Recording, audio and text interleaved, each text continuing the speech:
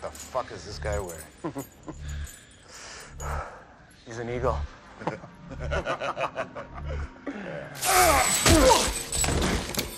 Hawk, dipshit.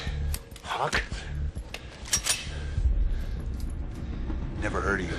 Wait. I need to ask him some questions. Chain his legs.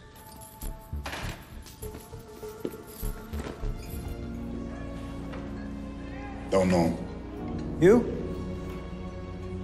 Never seen him before. This was no accident. It was deliberate murder. Likely because of these labor disruptions. Now, is not one of you going to be man enough to stick up for one of your own? Come on.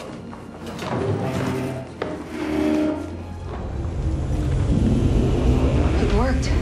Your ship's here. No, no, it's way too soon. On your knees! On your knees! Where's Miller? Who? Miller, the guard. We followed his distress call here.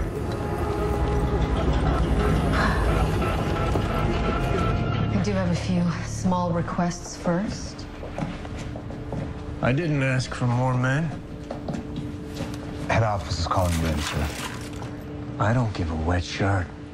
Head office can stand by until her debt is settled. Oh, B and I already made arrangements for repayment. You. On a platter.